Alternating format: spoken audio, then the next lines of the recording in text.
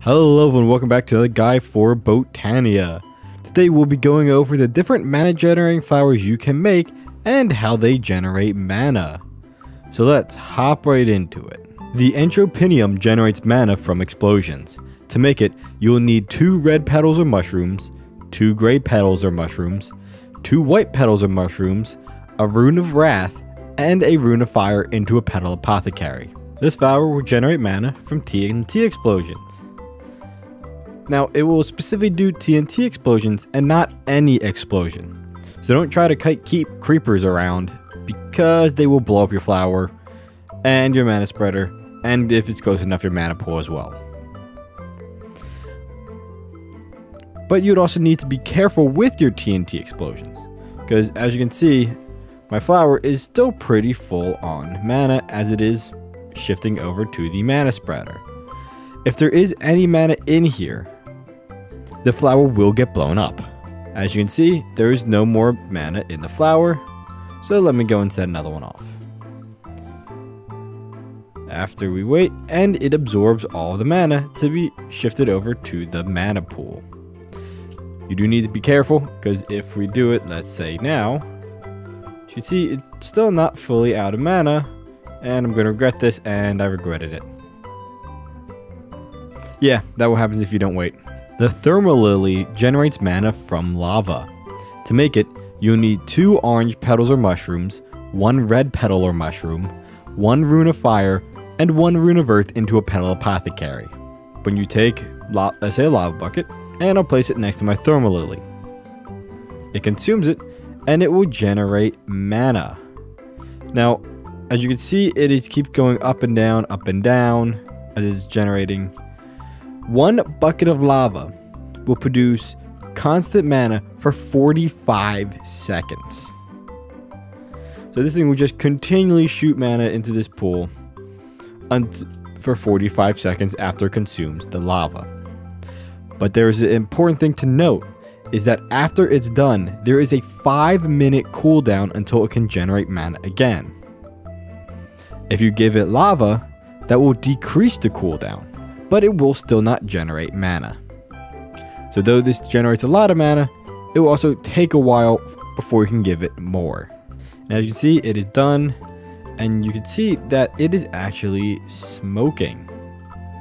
This is because it is currently in its cooldown phase, and you can see it actually, actually hasn't really produced that much mana in the terms of a whole pool.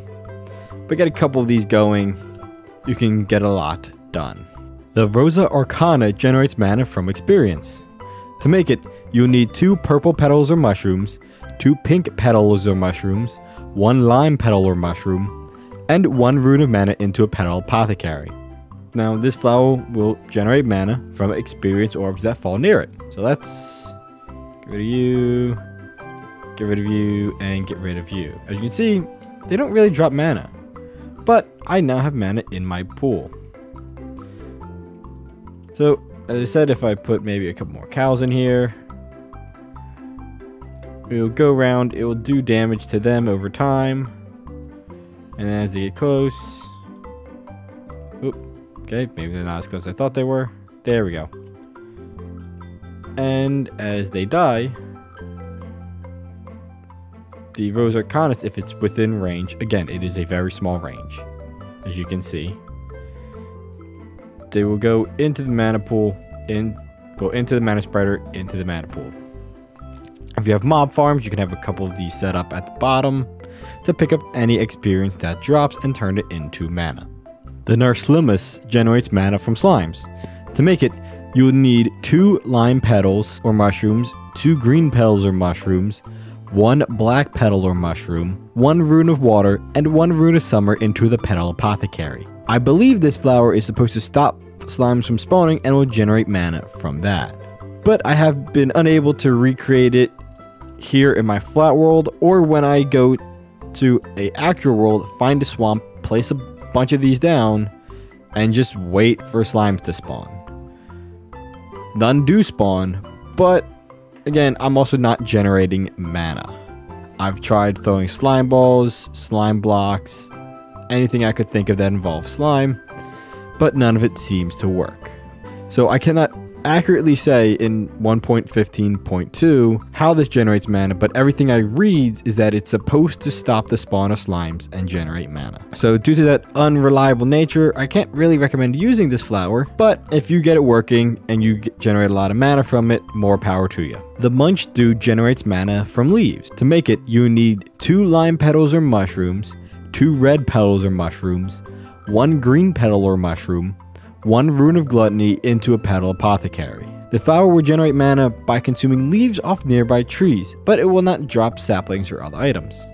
So let me take my bone meal, grow this tree up, and as you can see, that the leaves are being eaten, and there are no drops coming from it. It's being consumed by the munchdew, put into the mana spreader into the mana pool. So you can't just have this go on collect the saplings and replant them, you actually have another way, you actually need another way to get the saplings.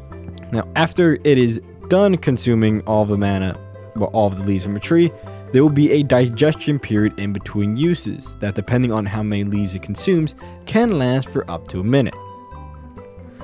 But let's take this tree down, put a new one down, grow some saplings, and as you can see, it's not doing it just yet because we are still in the digestion period. So keep that in mind when you're doing this. It is slightly a little bit harder to automate due to this, but you can still easily do it and depending on how big the tree could be, you could might as well just let them naturally grow and the munchdew will just eat it eventually. So you don't need extra bone meal. The Gourmaryllis generates mana from food, to make it, you will need two light gray petals or mushrooms, two yellow petals or mushrooms, one red petal or mushroom, one rune of fire, and one rune of summer into a petal apothecary. This flower will generate mana based off the hunger values of food. So you can see I have some cod in my inventory, we'll give it one of that. It eats it right up, and then it will generate mana. So I can also, let's give it an apple. It'll eat the apple, then when it's done, let's toss it a carrot, some chicken, steak. And you know? Steak has some high value, so we'll just give it steak. Now, as you can see, I threw a bunch of steak in, but it's not necessarily eating it. In between it, there is a digestion period similar to the munchdew. And any food you give it, it will take, but it might not necessarily turn it into mana. Also, you need to give this a varied diet. Because if I just, for instance, give it a bunch of bread, the amount of mana the bread will generate over time will decrease and decrease. But if I, again, mix it up with maybe some cod, bread, apples, steaks, chicken, carrots, baked potatoes, as long as they have different names and values and data values, they will count as different foods. So don't just rely on, you know, a giant baked potato farm and boom, you have infinite mana. You have to vary it up with other types of food to get the most out of this flower as you can. Now you have all you need to continue your journey through Botania. That is all I have for you today. If you enjoyed this video, please leave a like and, sub and subscribe for more Minecraft guides and the occasional other video. Thank you all for watching and have a good day. Bye.